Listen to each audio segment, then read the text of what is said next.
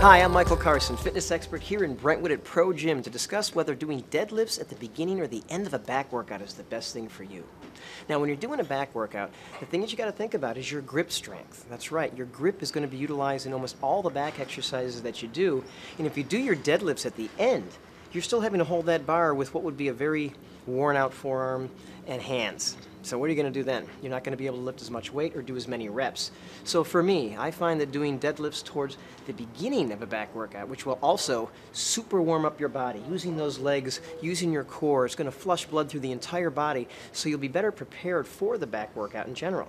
But if you start with the back and then go to the deadlifts, you might have that problem with the, well, let's say endurance of your arms. The arms endurance is all important. So you can do light dead weights at the end, but you won't be able to go as heavy as you want to go. So let's go at the beginning of the workout. Make that back workout the best it can be. I'm Michael Carson. You can find me at michaelcarsonfitness.com or just look for me here. I'm here to help.